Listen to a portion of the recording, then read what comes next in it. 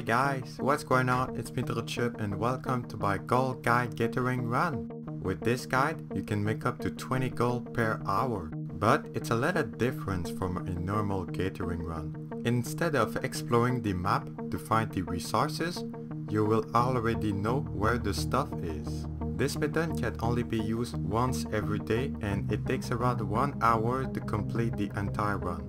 The requirements are quite low all you need is a level 80 character, the expansion unlock, and some waypoints. It's much easier if you have completed the map exploration, but you can just go and find all the required waypoints. The list of all waypoints is in the video description. Alright, so basically, instead of running around to find some random resources, you're going to look for the permanent one. These ones refresh every day and are always in the exact same place. Simple as that.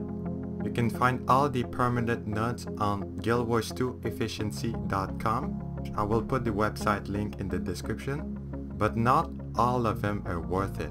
So I already picked the best one.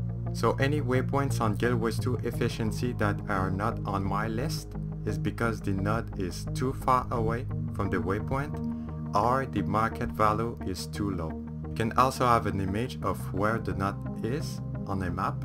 After a few runs, you will most likely remember all the locations of the node, so you can just save the waypoint link in a document and copy paste it on Guild Wars 2.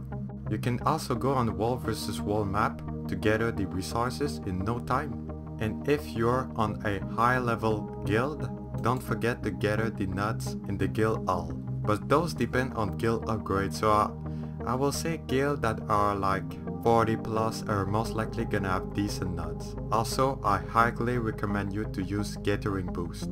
They will give you a few more gold. Me personally, I use Item Booster, Gathering Banner, and Guild All Gathering Boost. And I got 20 gold in an hour.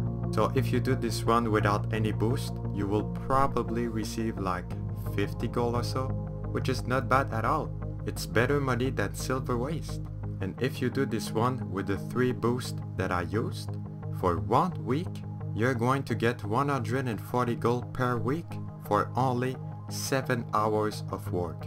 So gathering is definitely one of the best gold making method in the game. Alright guys, that's it for now. If you want to see more video like this, please give this video a thumbs up and possibly subscribe to my channel to not miss any of my content. I also have a Twitter account, link is in the description. I always share my video on it so you can follow me there as well. Thank you everybody for watching and I'll see you in my next video. Bye!